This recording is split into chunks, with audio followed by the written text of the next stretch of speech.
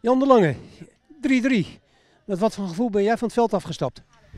Nou, uiteindelijk uh, denk ik dat je toch nog enigszins blij mag zijn, omdat het, uh, ja, het had ook zomaar 4-3 kunnen worden. Maar uh, je staat 3 en voor in de, wat zal het zijn, 60e minuut. En dan mag je eigenlijk niet meer weggeven.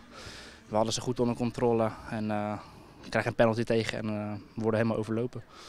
Ik zag eigenlijk in de eerste en de tweede helft een beetje een identiek beeld. Jullie beginnen heel goed aan de wedstrijd, zetten de tegenstander onder druk, scoren.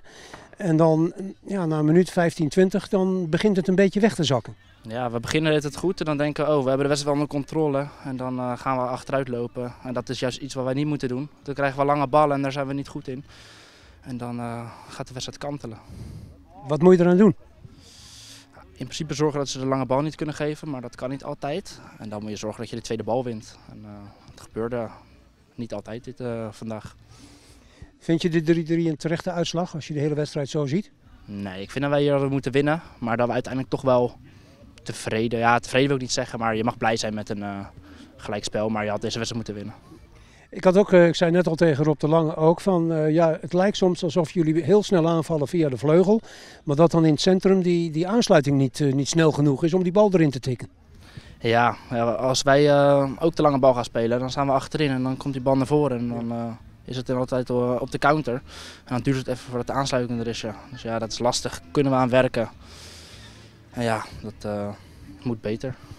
Moet je dan toch iets anders spelen en niet meer eh, heel snel over die vleugel oprukken en daar juist iets even temporiseren?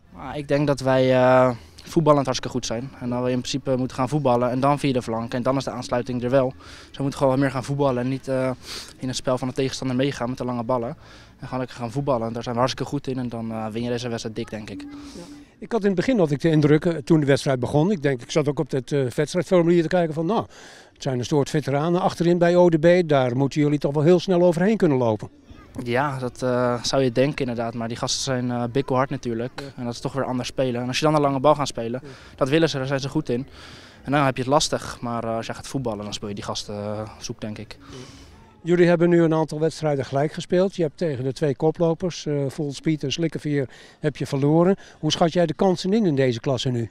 Nou, tegen Slikkerveer hebben we gelijk gespeeld. Maar um, ja, we wilden vanaf het begin eigenlijk gelijk meedoen. Dat is nu iets anders gelopen. Maar uh, zolang wij uh, zo blijven spelen.